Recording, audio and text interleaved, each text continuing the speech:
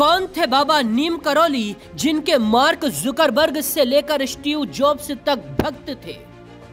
नीम करौली बाबा के bullet proof कंबल की क्या है कहानी?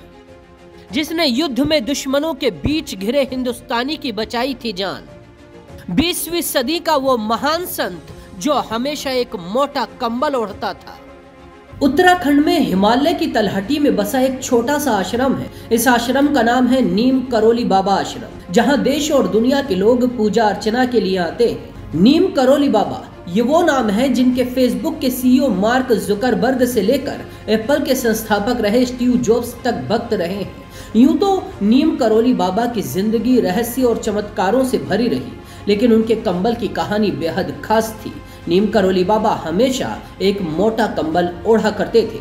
साल 1967 में नीम करोली बाबा से प्रभावित होकर अमेरिका के रहने वाले रिचर्ड अल्पट नाम का एक शख्स उनके आश्रम पहुँचा था। रिचर्ड अल्पट बाबा के मुरीद हो गए और बाबा से दीक्षा लेकर उनके शिष्य बन गए और अपना नाम अल्पट रामदास रख लिया। अल्पट रामदास ने अपने गुरु बाबा नीम करोली के ऊपर लगभग पंद्रह किताबें लिखी।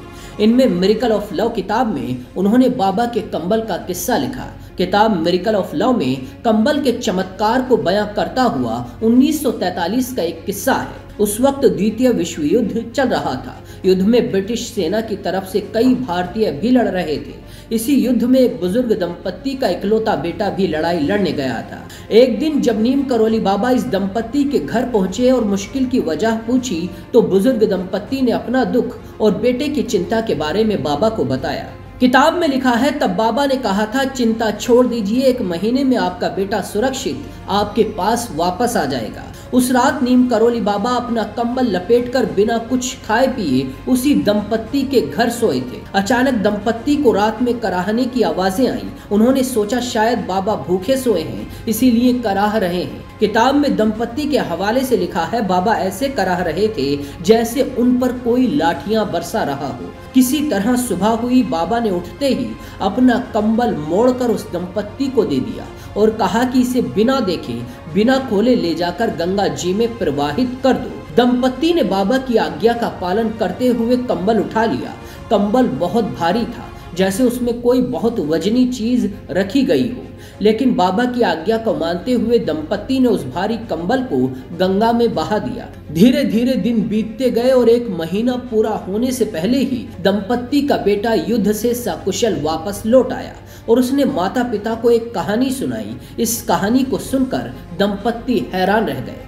उनके बेटे ने बताया कि युद्ध के दौरान जब वो जापानी सैनिकों के बीच अकेला फंस गया था, लेकिन तब अचानक ऐसा चमत्कार हुआ कि जापानी सैनिक उसके ऊपर गोलियाँ बरसा रहे थे, लेकिन उसे एक भी गोली छू नहीं पाई और वो सुरक्षित उन लोगों के बीच से निकल आया। बेटे की कहानी सुनकर बूढ़े दंपत्ति की आँखें भर आईं, क्योंकि उनका बेटा जिस रात का ज़िक्र कर रहा था, वो वही रात थी जब बाबा नीम करोली उनके घर में सोए थे।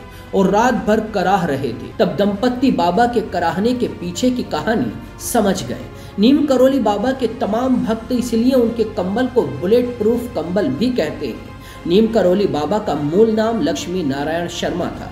उनका जन्म उत्तर प्रदेश के फिरोजाबाद के अकबरपुर गाँव में हुआ था। नीम करोली बाबा को उनके भक्त हनुमान जी का अवतार मानते हैं, क्योंकि बाबा हनुमान जी के परम भक्त थे। सिर्फ़ हिंदुस्तान ही नहीं, विदेशों में भी बाबा के चमत्कारों की चर्चा होती रहती है। ऐसी है बाकी किस्से कहानियों के लिए भी देखते रहिए जनसत्ता डॉट कॉम।